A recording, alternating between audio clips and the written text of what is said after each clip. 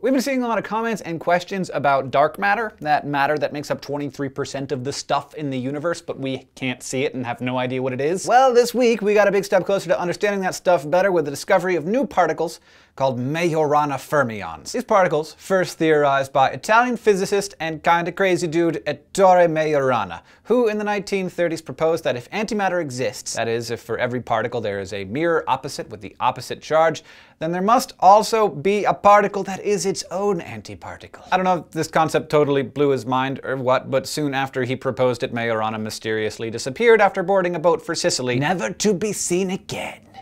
Seriously. Now fast forward to this week when Dutch physicists say that they may have solved Majorana's conundrum by finally detecting traces of this strange particle. I'm going to tell you how they did this. Don't worry if you don't understand. The team connected an ultra-thin wire to a superconductor, ran an electric current through it, and then exposed it to a magnetic field. What they found weren't bits of matter, but rather two groups of electrons that began acting the same way and the same time as Majorana predicted. Trust me, it's a big deal. Since these particles exist on the brink of matter and antimatter, some physicists think that they could be the key ingredient of dark matter, which, if true, would change everything. Majorana, we finally have news for you! Come home! New research, led by the former director of the Space Shuttle program, Joseph Miller, suggests that the Viking landers may, in fact, have found life on Mars after all. The study looked at data from all four of the tests that the landers performed on the Martian soil in 1976. At the time, only one of them came back positive. Nutrients with a radioactive signature were added to soil samples, and some of those samples gave off gas with the same signature, suggesting that the nutrients had been metabolized. But other tests looking for large amounts of organic molecules and signs of photosynthesis seemed to come back negative, so the conclusion was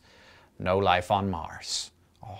The new study doesn't question how the experiments were done, but rather how the numbers were crunched. Using an approach called complexity analysis, experts compared all of the Viking data with similar experiments done on Earth soil and sorted them by which were the most mathematically complex. The data from the Viking nutrient experiment ended up grouping together with data from Earth soil experiments, meaning that they were more complex than the data from the negative results. The team's thinking is that any biological system, even if it's massively different from one that we would find here on Earth, would still be much more more complex than non-biological ones. So 36 years later, we may have figured out life on Mars. There is still a lot that Viking is teaching us. Bad news is, we're never gonna really know until we go back. But what do you think? Let us know on Facebook, Twitter, or in the comments below, and we'll see you next week.